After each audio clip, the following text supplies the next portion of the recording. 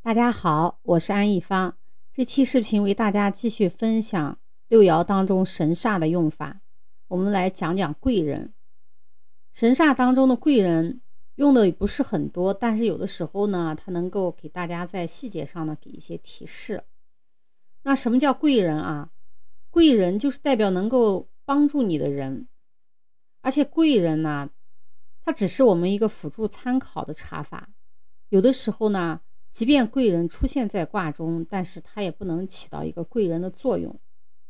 我们先来讲讲它的查法。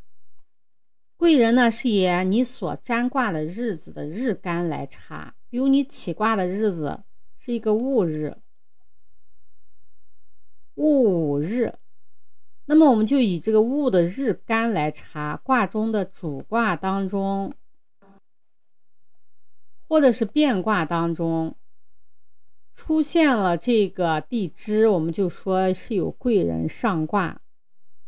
但是我们通常呢是以主卦当当中发动的爻啊，它来看贵人。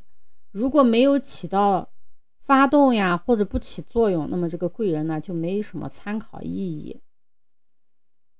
这个变卦当中呢，也一定当时它是以发动的变爻。它如果是变卦当中的静爻，我们通常也不看啊。这是贵人的使用条件。它的查法呢是甲戊并牛羊。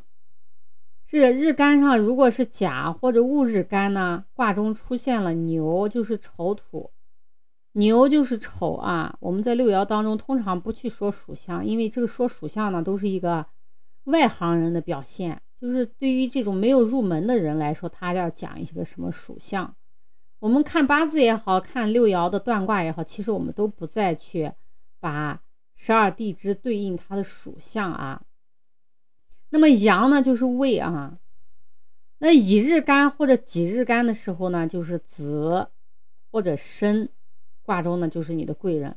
同理啊，这下面呢一个一个都是这样的，那我就不细说了。那我们来看一个贵人的用法啊，这是重要的。这次转让店铺能否成功？转让店铺啊，我们要看什么？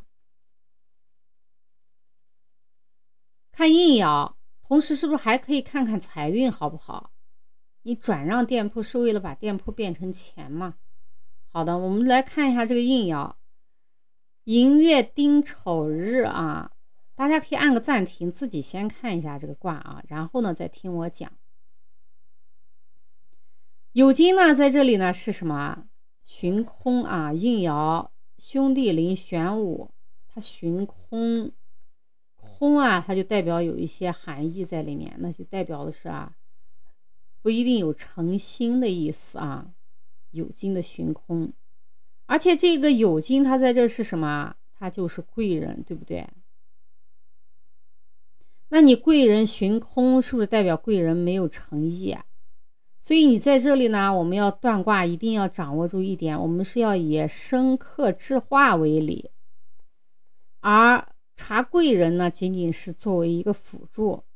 当一个卦中，他虽然临的贵人啊，他你以为他临着贵人时，他就会给我送钱来，他就拿我的店吗？不一定啊，要重点看他在卦中所起的什么作用。所以这个应爻呢，它虽然临了一个贵人，但是寻空，而且又入木。这个入木是入日辰木，入木呢，我们还没有讲到十二长生啊。那这个丑土的木入了日木，入木呢也代表的是逃避之意啊，在这里取的意思。那么这个里面，我们来看一下解一下这个卦啊，看看这个动摇。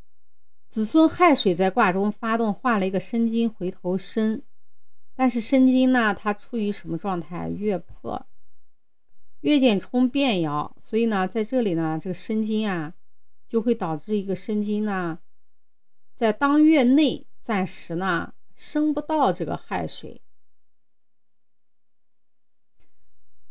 那在当月内升不到这个亥水，子孙亥水。它就生不到七财卯木啊！这个卦当中，你要看卦主的财怎么样，所以在当月内它是生不到的。但是出了月以后行不行呢？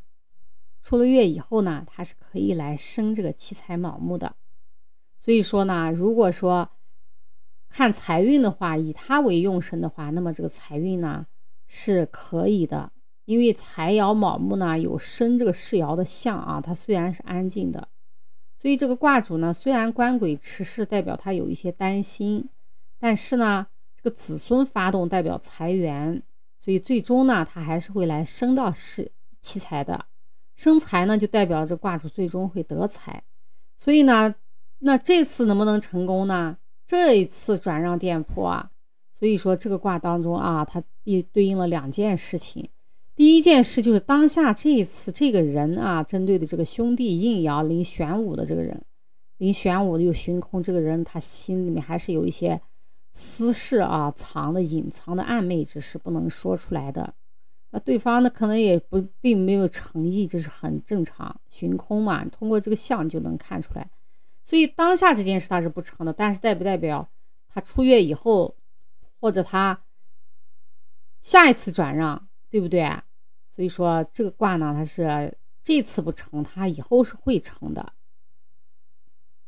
这当月不成啊，初月可成，它这次是不成功的。好了，今天这个内容呢，就为大家分享到这里，感谢大家的观看，下期视频我们再。